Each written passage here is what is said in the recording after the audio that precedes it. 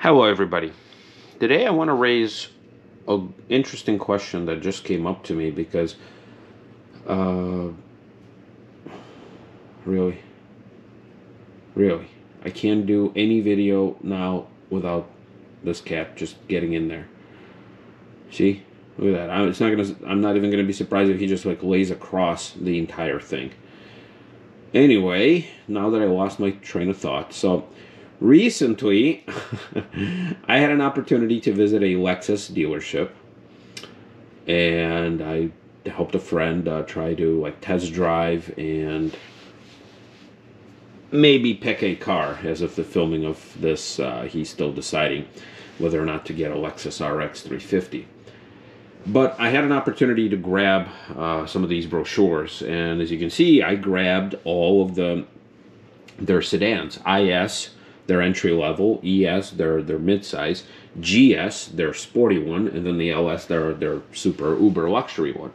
Uh, and then there were also uh, some SUVs and stuff, which I, I didn't take, and some crossovers. Uh, but I started thinking, basically, is Lexus a new Lincoln? And here is why I think that. Well, first of all, look, they still have four sedans in their lineup. Now, I know that there were some uh, articles that I read that the GS, the sportiest one, will be discontinued. Um, I guess it's probably their lowest volume seller, and plus, as you can kind of see from this lineup, all of it is is sporty in one way, shape, or form. Um, they're still going for that sporty, probably for that German uh, buyer. Well, not German buyer, but a German car buyer. Uh, so, so first of all, yeah, I mean, Lincoln got out of the, the sedan market altogether. Lexus still hangs out, which as you can see, these are all 2021 models. Uh, that GS one, that's a 2020 model. Uh, also, that LS one is a 2020 model. They did not have at the dealership 2021, which explains the, the GS situation. The LS, I guess, is because it's their pretty low volume seller, so they maybe they don't have the the updated ones. But these are 2021. Their their volume. I'm guessing the ES is probably their highest selling or most um, popular sedan, and you know that that's that's understandable because it's basically a fancier Camry in one way, shape, or form. So, so yeah, so so number one, they're still in the market uh, with sedans. Number two, they have a pretty good selection of compact, midsize, sporty, and full size. So I'm thinking of.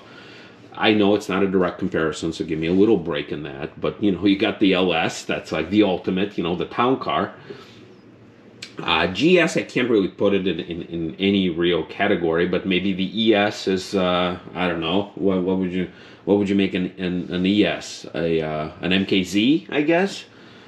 Um, then the IS, yeah, I can't really think of anything that would do the, the, uh, the IS, but that's like a super compact one.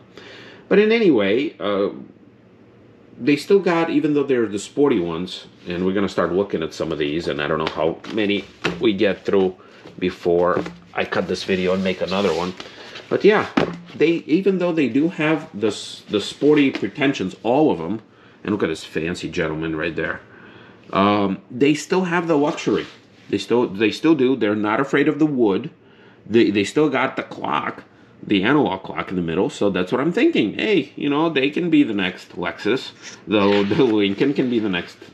I'm sorry, Lexus can be the next Lincoln. So let's start looking at these these brochures. And yes, they all evoke style and they all evoke you know high end uh, treatment, and they have all the different IS 300, the 300 all-wheel drive, the the F Sport they all do have this weird look, which honestly, it looks better on some cars and looks pretty hideous uh, on others. So this is a, a thing that everybody's going to have to decide for themselves. Um, this is what I'm talking about. Look at this. So even though this is high-end interior, I'm going to try to keep the glare to a minimum, it's still got the clock in the compact. You know, this is their compact sports sedan. They still got the clock, and I love that. I love them for it. You know, they have the push button start. They still got the clock.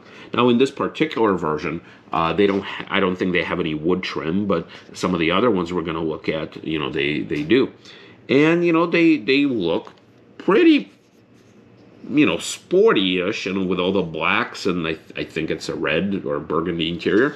But, you know, it still has a sense of class. And I think in some of the other ones that we're going to look at, uh, they do have some, you know, they do have the sporty version and they do have the luxury version of the same car. And, and I'll show you what I mean by that. So yeah, you got all the, the, the swoops, the, uh, the angles, the little laser looking headlights right there. So, although I don't think they are laser, but they look like it. Hey, clock's showing. I love that. And it's not all about the clock. But look, they have multiple levels. You know, they do have the red interior, but they do also have the whites and also the some of the, the you know, the stitching.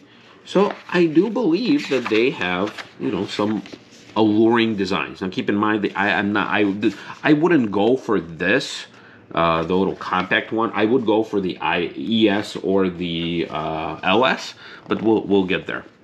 So check this out. You know they're definitely going with the performance. So yeah, the the, the proving grounds, all the the twisties. Yeah, I don't think any manufacturer is going to skip on that part because I think that's that's their selling point. And you know they do have the all-wheel drive. It would be nice if a town car came with all-wheel drive. Wouldn't that be awesome? And F Sport styling and performance. So it's interesting how they do here. They do have some that are the F Sport styling, which basically just get you the sporty bits without any performance improvement. And then I think they do have the F Sport, which, it's again, some of the other brochures I think might uh, might show it better. Here, you have the F Sport right there. So it's like they have a division that will actually tune the car, but then they also just have, a if you don't want the extra stuff, but you just want it to look cool, that's fine too. Yeah. Like here, I think this grill looks good. Some of the other ones, not so much. Ev evocative styling. So what's so evocative? This little angular thing here, and you know the the, the light bar, I guess. Design that catches eyes, not the air. Well, maybe. I don't know. Eh, I do like some of it, like I said. Yeah, so here we go. Got also the brown, although, like I said, this is their entry level, uh, so not not a whole lot of super premium uh, material. But also check this out. So they have three going across. You can clearly see three seat belts.